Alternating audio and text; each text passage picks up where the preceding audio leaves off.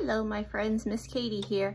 And I found a book I wanted to read you guys today that reminded me about some of the things we found on our playground. It is called Worm Weather. Look at the title page or the cover. What do you notice? See rain. I see lots of leaves. It's like it's a little windy. And look what's coming out of the ground.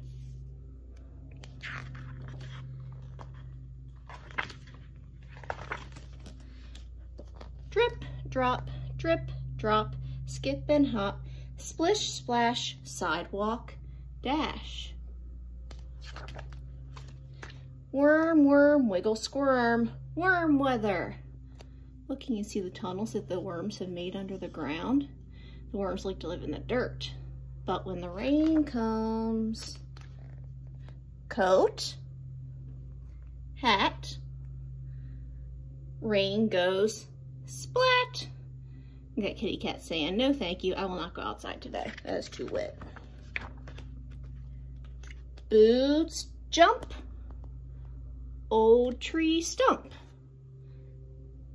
Now the, the ground's getting wet. What are the worms doing? They go pop out of the dirt. Big stomp. Puddle swamp. So they've got the rain gear on. She's got a poncho. He's got a hoodie rain jacket. Looks like they both have rain boots. Mud! Stop! Belly flop. Oh my. Almost. Oh, mama caught him. That'll make a big mess do a belly flop in mud. Dark cloud. Very loud. Boom! Thunderstorm. Bright flash, thunder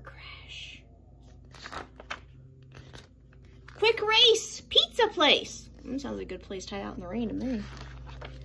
Especially when we actually go eat in the pizza places. Drip dry pizza pie. Sun pops, drizzle stops. Birds fly, rainbow sky. Oh, so pretty. I love looking for rainbows. I'll look very carefully on this page, what's still out of the dirt? Oh, I think that bird's what we call an opportunist. Ooh, the worms came out of the dirt. Time for lunch. Run, sing, playground, swing. It's a good feeling when you get to go outside of being stuck inside when it's yucky. Worm, worm, wiggle, squirm. It's worm weather. Yeah, those worms like to pop out of the ground when it's raining because they can't breathe under the ground when when the ground is really wet because they would drown. Like us, we can't breathe underwater and worms can't either, so they have to pop out of the ground so they can breathe. All right, well, thanks for listening to that book with me today. If you want to get this book for yourself, it's called Worm Weather, and it's by Jean Taft. She wrote the words, and it is illustrated by Matt Hunt. Matt Hunt drew the pictures. All right, well, thanks for reading with me today, guys. Love you all. Stay safe, and I will see you virtually soon. Bye.